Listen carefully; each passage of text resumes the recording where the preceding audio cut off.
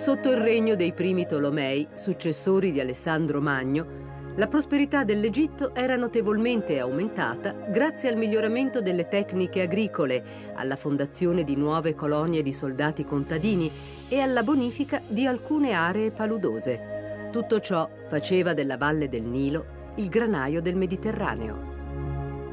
Roma, tra il secondo e il primo secolo a.C., era una potenza in piena espansione. La ricchezza dell'Egitto attirava inevitabilmente l'attenzione dei membri del Senato romano. L'autorità politica dei Tolomei, dopo gli splendori iniziali, cominciava a declinare a causa delle lotte dinastiche tra i pretendenti al trono. I romani aiutavano ora l'uno ora l'altro dei contendenti per impedire che trionfasse l'autorità di un unico regnante. In tal modo l'Egitto si riduceva sempre più sotto l'influenza romana. Nel 51 a.C. salì al trono dei faraoni Cleopatra VII, l'ultima regina d'Egitto, figlia di Tolomeo XII, detto Aulete, a causa della sua passione per l'aulo, strumento musicale affine al flauto. Cleopatra era una donna colta, amava l'arte e la letteratura e a differenza degli altri Tolomei che parlavano solo il greco, aveva voluto apprendere anche l'egiziano. La giovane sovrana trascorreva molte ore nella biblioteca della capitale, Alessandria. Visitando da bambina le gloriose città di Tebe e Menfi, Cleopatra aveva compreso gli antichi culti e le credenze dell'Egitto. Il suo progetto politico era diffondere in armonia gli elementi della cultura egizia e di quella greca, assicurandosi in questo modo l'appoggio del potente clero locale. Incontrò tuttavia difficoltà nel perseguire il suo scopo. Nel 48 a.C. fu costretta a fuggire da Alessandria per l'opposizione dei cortigiani e dei consiglieri di suo fratello Tolomeo XIII, con il quale divideva la responsabilità del potere. L'arrivo dei Romani nella valle del Nilo segnò l'inizio della riscossa di Cleopatra. Ottenuto l'appoggio politico di Giulio Cesare, la regina riacquistò il potere, pur dovendo condividerlo, dopo la morte di Tolomeo XIII, con l'altro fratello, Tolomeo XIV. Cesare fu affascinato dalla brillante personalità della giovane regina.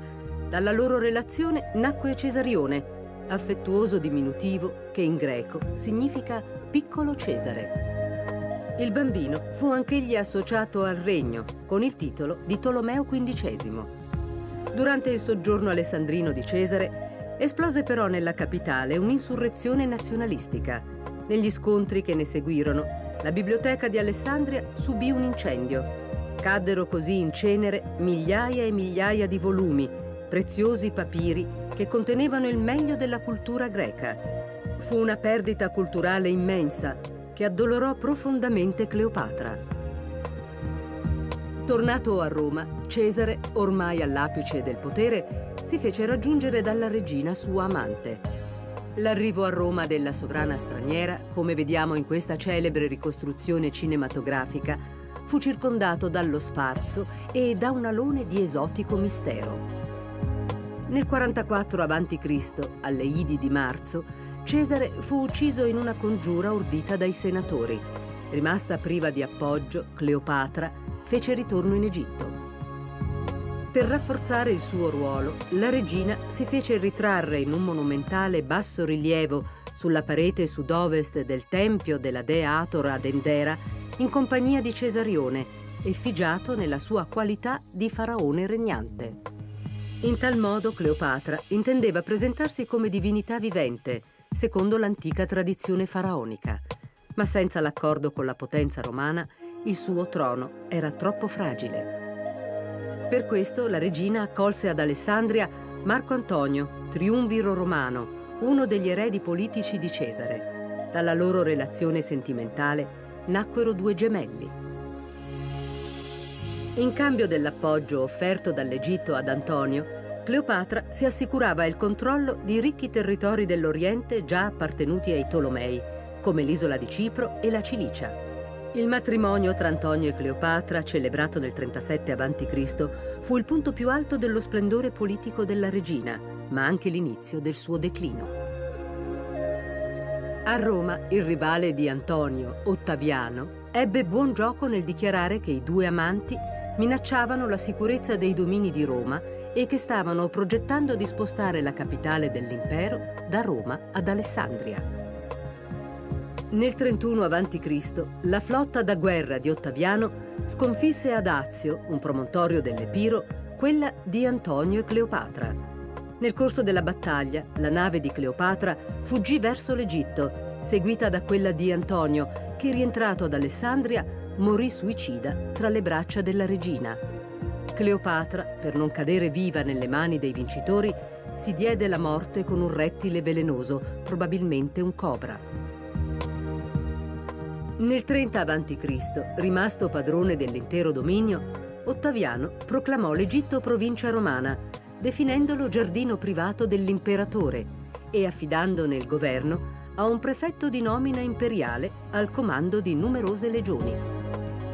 Da quel momento l'Egitto subì la sorte di tutte le altre province romane. Le sue ricchezze furono depredate.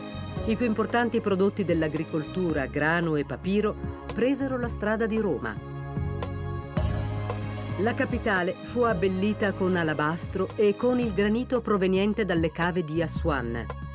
Il porfido delle miniere del deserto orientale, già sfruttate da Cleopatra, fu trasportato a Roma e in altre città dell'impero per la costruzione di monumenti e oggetti di lusso.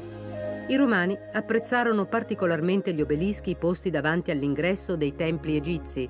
Gli imperatori ne organizzarono il trasporto nella capitale con navi speciali per decorare tombe, circhi e piazze. Dalle rive del Nilo si diffusero anche culti e credenze religiose. I misteriosi rituali della dea Iside, sposa di Osiride e madre di Horus, attecchirono a Roma e in altri centri, affiancandosi a quelli delle divinità pagane già venerate dai sudditi dell'impero. Nella veste di successori dei faraoni, i sovrani di Roma continuarono l'opera di restauro, completamento e arricchimento dei templi. Nel santuario di Ator ad Endera, l'imperatore Traiano appare nel tradizionale costume del faraone mentre porge un'offerta rituale alla dea Ator. Un altro esempio della fusione tra le due culture è questa statua di centurione armato con la corazza romana che culmina con la testa di falco di un antico dio egizio.